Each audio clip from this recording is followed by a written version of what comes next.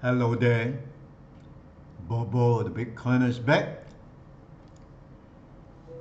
The subject of Bitcoin can never go on without price uh, investigation. Most who had invested in Bitcoin want the price to go up as quickly as possible. If can from 30,000 to 300,000 or even $3 million a coin. Bitcoin go to the moon. Why not? Who don't want to be rich anyway, right? But in reality, those days are hard to come by. Although it is still possible because Bitcoin is still relatively young. I think we have reached a stage whereby it is better to allow Bitcoin to grow at its own pace. Meaning, though Bitcoin has already proven itself beyond doubt, what it can do, like cheap, fast, though not the fastest, it's 24 7, 365 non-stop. Its ledger fully transparent, immutable, and permanent in the blockchain. That's never been hacked so far. It was designed to do just that and it performed superbly well without missing a steps in the last 14 years. What more you want Bitcoin to prove? Bitcoin is not in a hurry. Its technology seems too new, somewhat difficult. People need time to digest. So in a way, it is pacing itself to allow people to come on board, to try it, test it, understand it, learn how they can use it, and move along progressively as people adopt it in their own uh, lifestyle to make it a habit as time goes by. We take two uh, to three years to learn uh, because we are used to the credit card whereas in China do not have the credit card era. So they skip from cash direct to digital payment like WeChat and Alipay.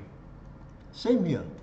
If we do not have PayNow or PayLah in between, we could have to skip to Bitcoin payment given that the only available digital payment. So, oh, uh, by the way, PayNow and PayLah are concept copy from Bitcoin ecosystem, right? Fast and cheap. And in fact, now it's free from local transaction. Except that it still uh, use third-party middleman. There's a single point of failure.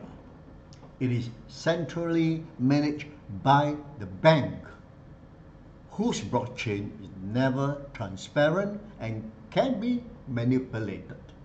So, if we look into the future, it is highly possible that people will ultimately redirect back to the Bitcoin uh, ecosystem primarily because there is no middleman, no single point of failure, nothing but the truth in every transaction, and particularly its decentralized blockchain. That's why I say it is good for Bitcoin to progress step by step allowing time for people to learn, adopt, and come abroad. People the world over is understanding Bitcoin much better today. The world's biggest asset manager, BlackRock, understand this now. Larry Fink, CEO, said Bitcoin is an international asset. Boy, When Larry said that, you better pay attention. His company managed 10 trillion dollars of asset and that is half of China's GDP 19.3 trillion or combined uh, GDP of Japan, uh, India and South Korea of 9.83 trillion. And Singapore is only half a trillion. Black, BlackRock is 20 times Singapore's GDP. Now, you see the significance. So in a way, Bitcoin slow growing up is a good for many of us. At 30,000 now, there is still a lot of opportunity for many of us uh, to come aboard to accumulate it. Right? If it go to 60,000 or 100,000, aha, it will be tough for many people. And at 300,000, not much chance anymore. Huh?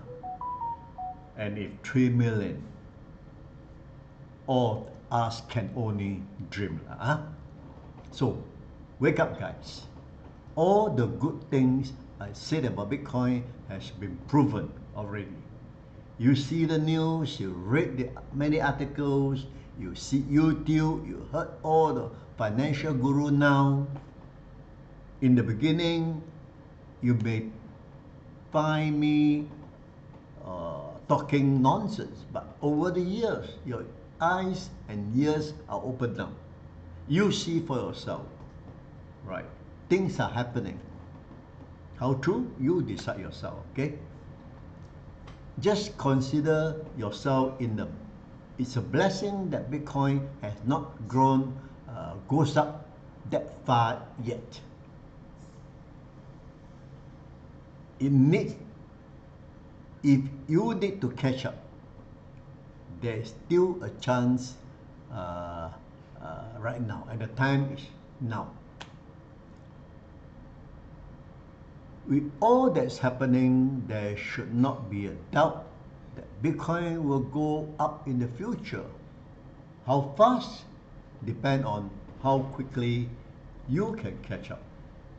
Just don't let it move uh, out of your reach. One of the uh, major reasons uh, Bitcoin is moving so slowly is also mainly because we are dealing with money. Everyone knows, uh, everyone wants to be doubly sure, right? You uh, have been so mesmerized by the fiat currency for centuries that you are practically forced to accept and believe whatever the government say. So, the government says Sing dollar is your money, that's your money. Or US dollar is your money, you have to accept it, right? Fortunately or unfortunately, most governments are moving or proving to be insincere and misleading throughout the last few decades. But last few decades, we had no choice, right? Until Bitcoin comes along. So to shift towards Bitcoin completely right now is impossible. People will probably migrate slowly, maybe 1 to 2%, then 5 to 10%, and see how it progresses from there. We are right now exactly in the 1 to 2%. A marvelous opportunity, I must say. Don't wait till it gets 5 to 10% or above 20% where the rat race begins. You will be left behind. Okay? Consider this. Hope you enjoyed today's episode. See you next time. Bye bye.